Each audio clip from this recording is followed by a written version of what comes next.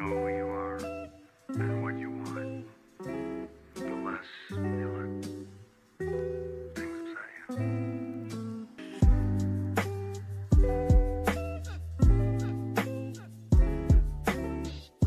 legendary United States Virgin Islands, lying roughly around a thousand miles as a crow flies from Miami. Now, via sailboat to sail directly here would take you right around a week or a week and a half, depending on your vessel. The USVIs consist of the main islands St. Croix, St. John, and St. Thomas, as well as 50 other surrounding minor islands and cays. The total land area of the territory is 133 square miles. The capital is Charlotte Amalie on the island of St. Thomas. The USVI are one of my favorite, if not my absolute favorite place to sail throughout all of the Caribbean, and the reason will surprise you. It has absolutely nothing to do with beaches, bars, anything like that. It's the cost.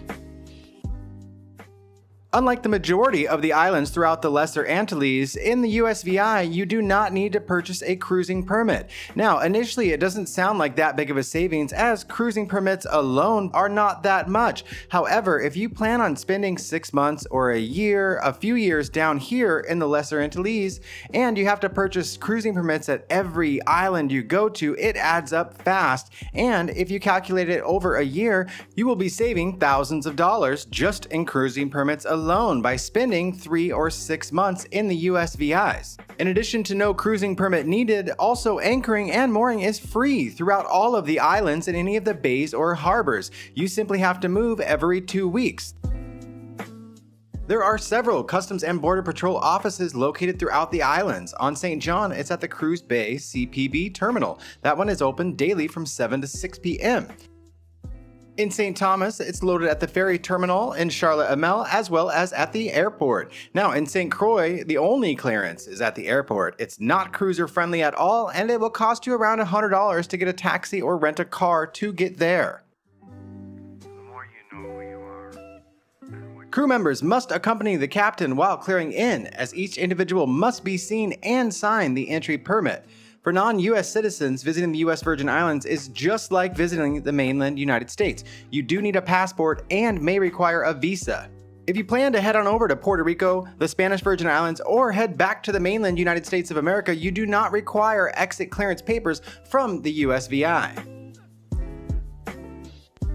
You also do not need to clear out of the USVI if you are going to the BVI.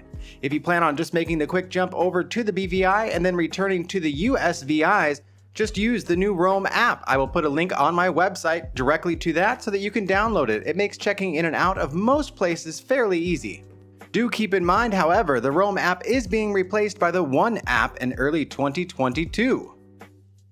The US Virgin Islands do not issue firearms permits or licenses to non residents or foreign nationals to carry concealed firearms. Firearms must be declared in all cases, even if you're a United States citizen and you do need a permit slash license. As an added bonus, the USVI is considered one of the easiest slash best places in the Caribbean to ship or bring in spare parts because of its duty-free status. Parts and packages can be shipped easily without any hassle via UPS, FedEx, DHL, or freight companies such as Ocean Freight. Between the USVI, Spanish Virgin Islands, as well as Puerto Rico, you can easily spend a year cruising throughout all of these islands and cays and spend next to zero money on anchoring as well as mooring. And this, ladies and gentlemen, is why it is one of my favorite, if not my absolute favorite place to sail in all of the Lesser Antilles. Another great way to save money while cruising and sailing full time is to become an American Sailing Association member. Discount code linked below in the description as well as the comments. It's only $49 for the entire year, and like I said, it opens up dozens and dozens of other discounts to numerous products you're going to need while cruising full time throughout the Caribbean or anywhere in the world. St. John is an island with quite a few magical spots, just a short ferry ride away from St. Thomas. St. John has a super, super laid back vibe and is just plain gorgeous. Now, generally speaking, people who really want to enjoy the cruising lifestyle and all that the USVIs have to offer will make St. John their hub, as opposed to the nearby St. Thomas, which is an absolute madhouse. Now, it is the smallest of the three main islands in the US Virgin Islands. It does enjoy a reputation as the most pristine, with a combination of natural beauty on land as well as in the water. This diverse member of the U.S. Virgin Islands offers travelers an abundance of opportunities for adventure. Trade winds keep the island warm and inviting and make it a great place to sail.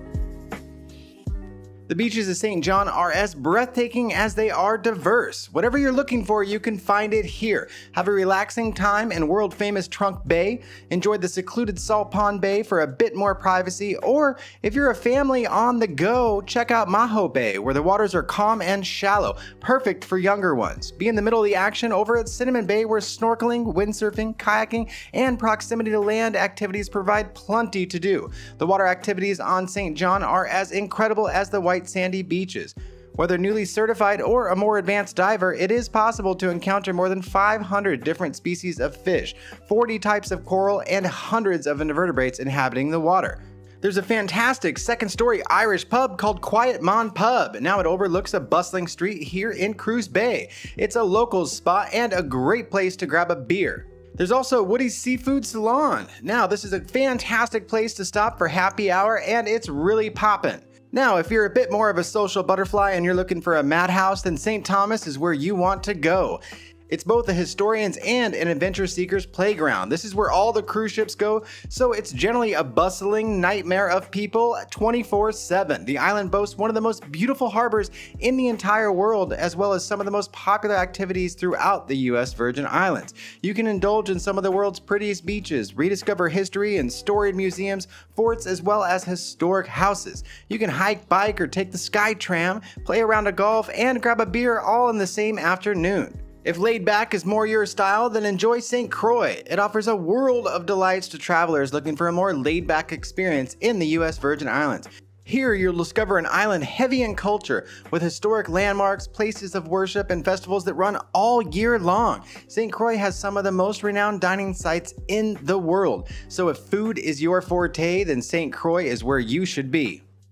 Now, if you do need help getting on the water or narrowing down your boat purchase, or you just need some information and some help, consider heading on over to my website at chasinglatitudes.com. Over there, right on the homepage, you will see producer. Become a producer on the channel. With becoming a producer, you do get a one on one consult with me to discuss everything sailing related that you would need to, as well as you do get a year's access to our members area. Now, the members area is a fantastic place for information. We have hundreds of members over there, all in various stages of starting sailing. Some have just purchased boats, some are taking ASA classes, and so on.